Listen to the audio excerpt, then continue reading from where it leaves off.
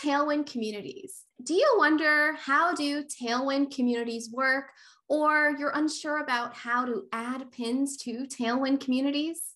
In this video, I'm going to be answering all your questions about Tailwind communities, as well as showing you how you can use it to grow your Pinterest traffic. Full disclosure, Tailwind Communities is one of my favorite tools ever, and it is one of those secret ways of getting not only more repins on Pinterest, but for getting more traffic. So, hey there, it's Nadalie Bardo, your Pinterest coach here. And if you love Pinterest marketing tips, be sure to hit that thumbs up button. And don't forget to subscribe to my channel because I love doing videos just like this on Pinterest. So let's answer that first question. What are Tailwind communities? First of all, in order to access Tailwind communities, you need Tailwind. So if you have not signed up as yet, click down below to start your free account. So Tailwind communities are a feature of Tailwind, which is prominently known as the best Pinterest scheduler. But it's so much more than that. Within Tailwind communities, you're able to do what formerly a lot of us did with Pinterest group boards, which is to add pins so that you can get repins or reshares from other Pinterest users.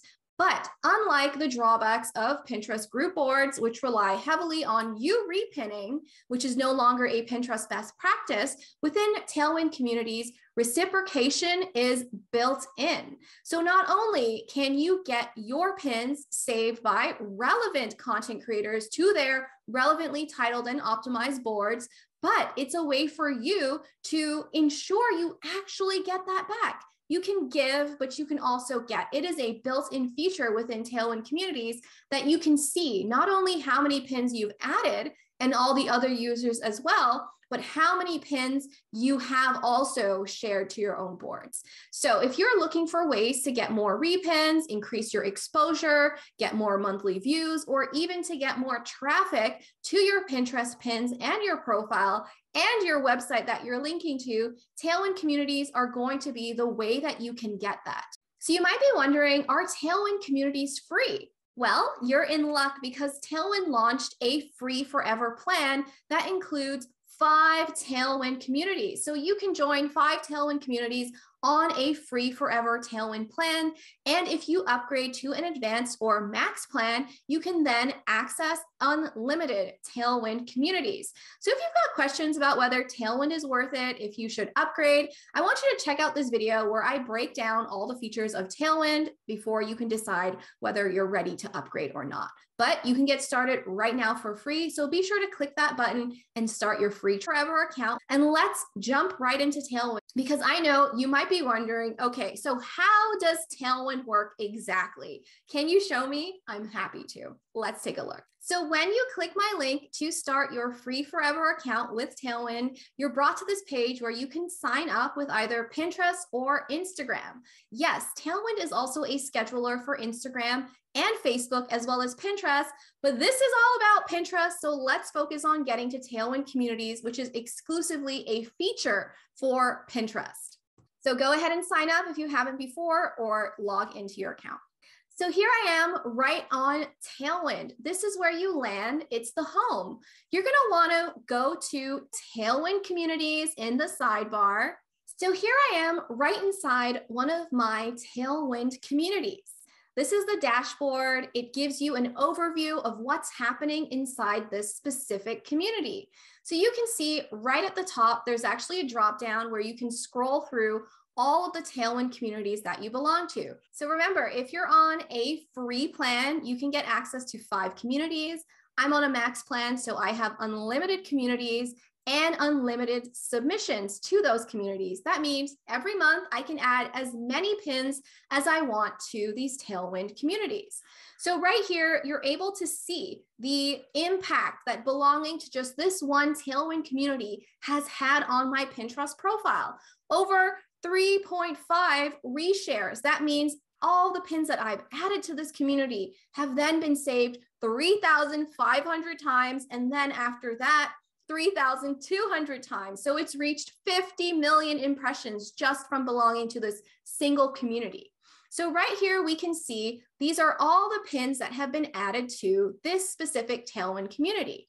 So when you belong to a community, you're then able to take these pins and add them to your Pinterest boards. So let's find a pin that I can share to my own Pinterest boards. So I love this pin about self-care ideas. All you have to do is type in the name of your Pinterest boards, the same ones on your profile. So I have a self-care board. I'm going to click it. And then once down here, I can click add to queue.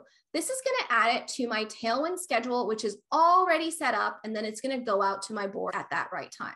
So I've added it to queue. So that's how I'm taking another user's Pinterest pins and adding them to my Pinterest boards. This is why you want to be using Tailwind communities, because when you add your pins to these specific communities, other users are going to take your pins and save them just like I did to their relevantly titled and optimized Pinterest boards.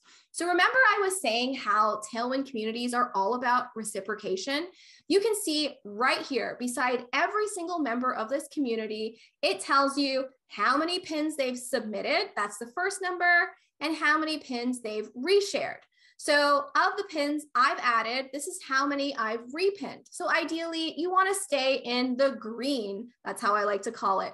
If you fall into the red, it just means that you've added like this individual right here has fallen into the red. They've added way more pins than they have shared. So if you are the owner of a Tailwind community, you can actually decide to kick a member out if they're not reciprocating by simply just pressing right here, kick out, and they're simply removed from the Tailwind community. So that's why it's so easy to get reshares when you belong to Tailwind communities because the owners of these communities, they are able to see and remove anyone who is not reciprocating.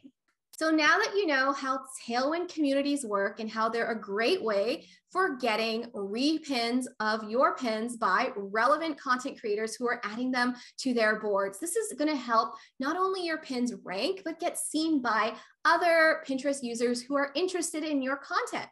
So your next question is likely, how do you post in Tailwind communities and how do you add pins to Tailwind communities? So there are two ways for you to add your pins to Tailwind communities. One is using the Tailwind browser extension, which allows you to add pins directly from Pinterest to Tailwind communities. And the other is doing it from right inside of Tailwind. So can I show you how easy it is?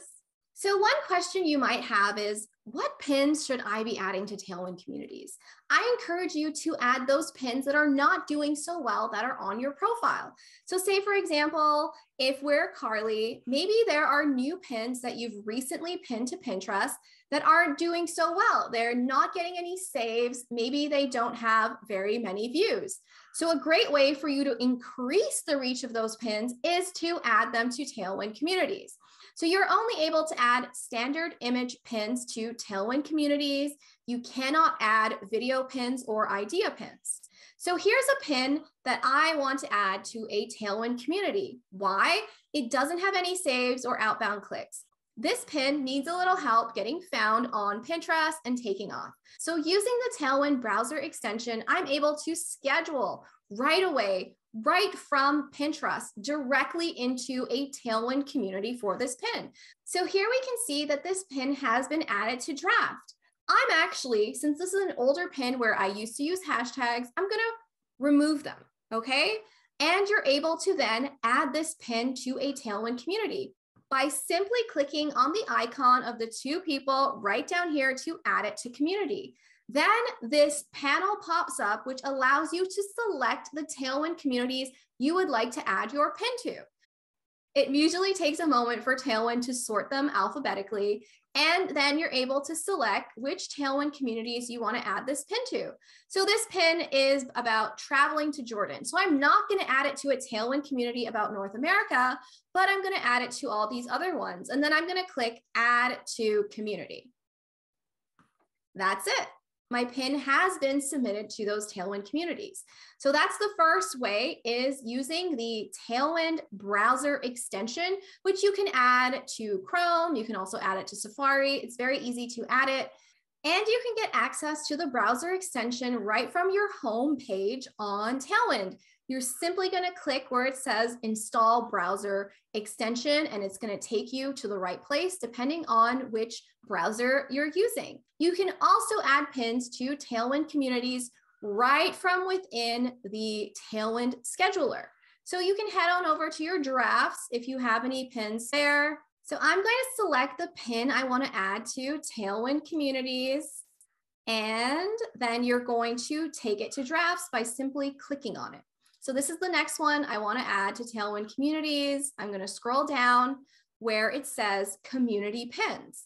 And then I'm going to click and select the Tailwind communities I want to add this pin to. So this is a pin about North America. So I'm going to add it to this North America. And then you're going to click add to community. And it's been added. So those are the two ways that you can post a pin to a Tailwind community.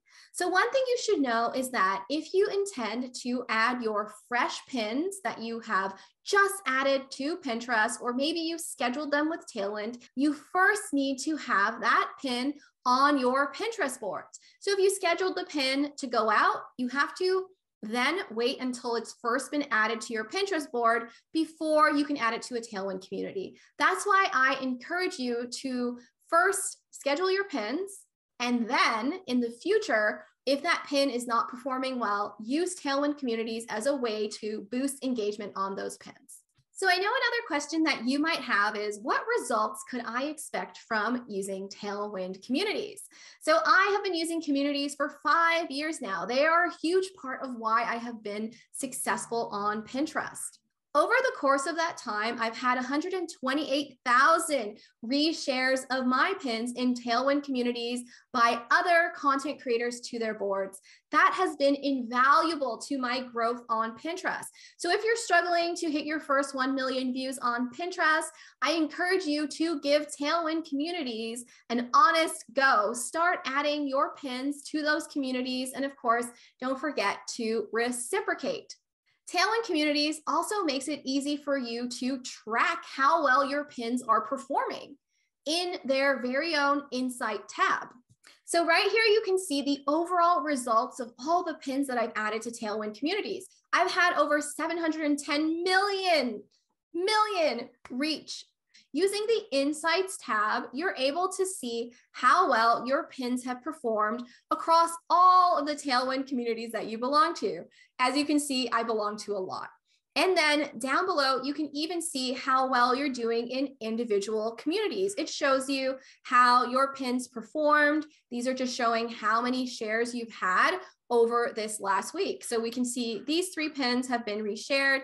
And for my Tailwind community, I am in the second place for the most reshares this week. This is typical for when I'm active. I'm usually in the top. So for example, these are the pins that are getting reshares. So you can check your Insight tab to see how well your pins are doing thanks to Tailwind communities.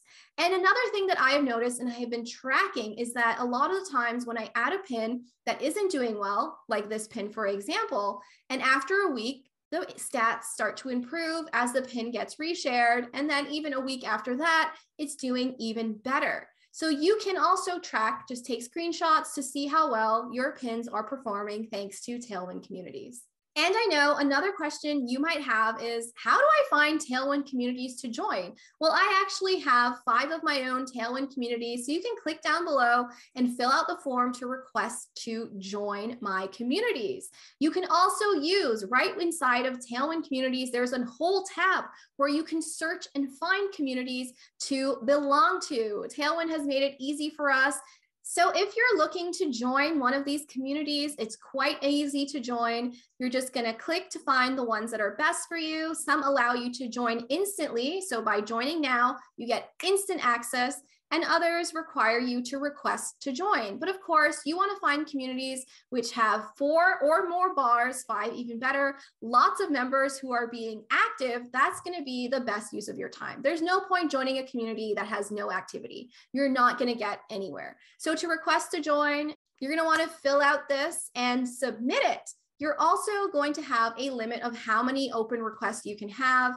And in this tab, you can actually clear them. So if you've used up your 10 or your five slots, depending which plan you're on, you can come in here and remove them. And of course, if a community isn't working for you, you can simply leave and join a better one. So there you have it. That's how to use Tailwind communities to get more traffic from Pinterest. And if you still have not signed up, be sure to click my link down below to start your free forever Tailwind account and get access to five Tailwind communities at no cost. It's free. Why not give it a try and see how you can improve your performance on Pinterest with Tailwind communities? And remember, that's just one of the amazing features of Tailwind. So if you found this video helpful, be sure to hit that thumbs up button and don't forget to subscribe to my channel because I love being your Pinterest coach. And stick around, you're going to find this video helpful and I'll see you in the next one. Bye for now.